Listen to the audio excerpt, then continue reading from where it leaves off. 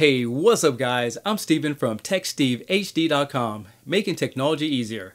In today's video, I'm going to show you how to set up the Lenovo Smart Screen. Now, the Smart Screen is part of a series from Google's Home Assistant that allows you not to only give commands, but you also can see what you're doing in certain applications. Now, this is the 8-inch version, but there is a 10-inch version. The biggest difference of the 8-inch version over the 10-inch version is that the 8-inch version has a screen resolution of 1280 by 800, where the 10.1-inch has a resolution of 1920 by 1200. And due to the screen size, I do believe they're going to look close to the same. Another difference between the 8-inch version and the 10.1 inch version is that the 8-inch is only available in white and gray, where the 10.1 inch is available in white and bamboo on the backside. They both have a 720p video camera with 5 megapixels and has a viewing angle of 86 degrees. Both units has an array of 4 different microphones. There's 2 on the top as well as 2 on the side. On top of both devices, you're going to find your mute button as well as a volume up and down. And on the side of it, you're going to find a switch to close off the camera if you want to have a little bit more privacy. But now let me show you how to set up the device from the time you turn it on. From your Android or iPhone, go ahead and download the Google's Home app from the App Store and then go ahead and open it up. If you haven't set it up already, go ahead and set it up and this will be the first screen that you get. Now, as you can see, it found my device. I'm gonna go ahead and press setup. Make sure that the display name is on your phone and then go ahead and press yes. Once the device is found and connected, you should get a series of numbers on your screen and make sure they match. Once they do, go ahead and press yes. And if you want to help Google's Home Assistants get smarter, you can go ahead and press yes, I'm in. Now let's give your Google device a name. Let's call it Family Room. And then press next. On this screen, you're going to go ahead and enter your Wi-Fi. If you have other Google Home devices, it'll go ahead and remember it. But if you don't, look for your Wi-Fi and then enter the password.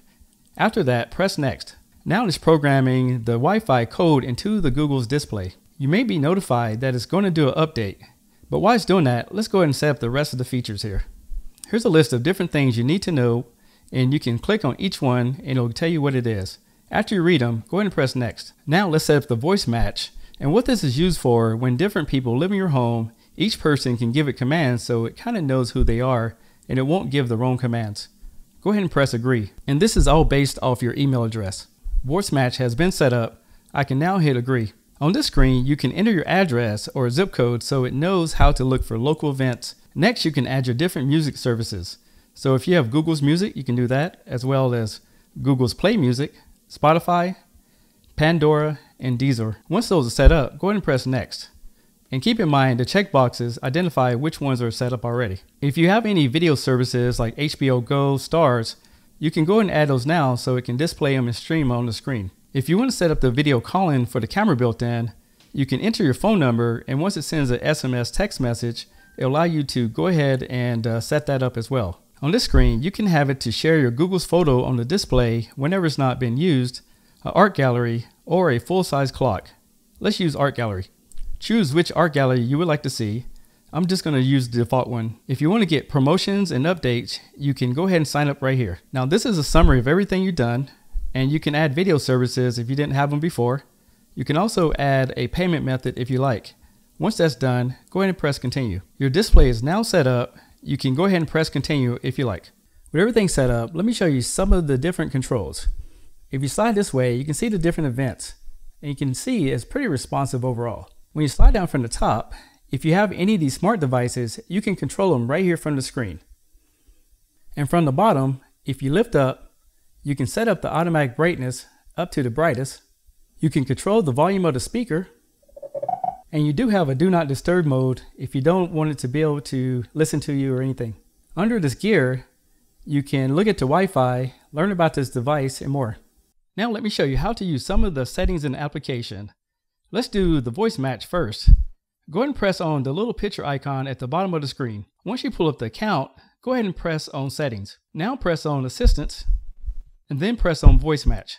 On this screen, you can go and add it to your existing voice match, but let's go and teach it again so for those who haven't seen it before. Go ahead and press retrain and then do these commands. Okay Google, okay Google, hey Google, hey Google. Since you were the one to set up the device, you can add other people to share their voice by pressing on invite others and then send them an email. Once they get the email, they can go ahead and do the voice match themselves, and then it'll link the voice match commands to their Gmail account. Now let's say you want to add more music services, go ahead and press add at the top again. You'll get this screen, and at the bottom you'll see add music and audio. Now here's the options I have in San Diego, California on this Galaxy S9.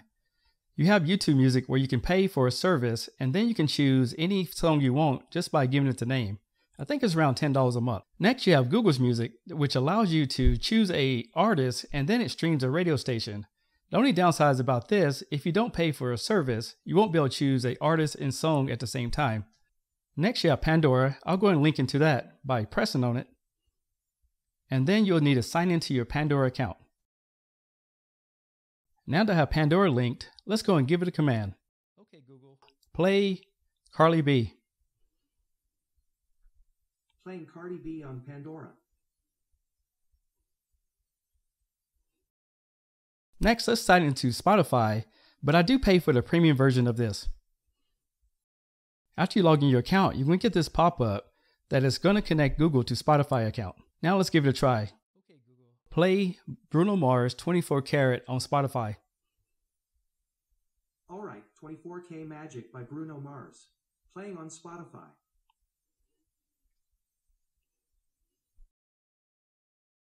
Now, if you look at the phone here, if you press on it, you can see that it's playing, and then you can control the volume right there from the display. You can also open up the Spotify app and stop casting. One thing I like about this as well is that you can control the volume right from your phone if you need to. All the Google products will support smart devices like Nest thermostats. You also have plugs and all kind of things. But now I'm going to show you how to set it up with the Philips Hue system. To add any kind of smart device, from the home screen, go ahead and press Add. Next, you want to go ahead and press on Set up a device. At the bottom, go ahead and click on Works with Google. Since I'm setting up the Philips Hue system, I'm going to go ahead and type in Philips. Now press on it. It'll take you to the Philips Hue's website and go ahead and sign in with any credentials that you made when you originally set up your lighting system. Now, if you're logged in successful, you'll need to grant permission to Google. And that's pretty much it. Since I already have them set up, let's give it a basic command. Okay, Google, turn all lights on. Okay, turning four lights on. And at the bottom screen, you can choose which colors you would like to use. And the great thing is now they're named, you can go ahead and preset those in your system. Okay, Google, turn all lights off. Sure, turning off four lights. So I hope you have a better understanding how to set up a Google's Home Assistant with the display. Now, if you have more questions, since all the Google's Home Assistant software is exactly the same, I have the Google's Home Hub, which I haven't did a video on yet. So if you have any questions about how to use the software, let me know and I'll see if I can incorporate it into the video on this. Another thing I'm going to show you guys in future videos is I have the Nest system and I'm going to show you how to connect this to your device and make a more of a home automated system so you can give it voice commands and create routines. So if you like this kind of video, make sure you go ahead and give me a thumbs up, subscribe to my channel, and I'll see you guys in the next video. Peace.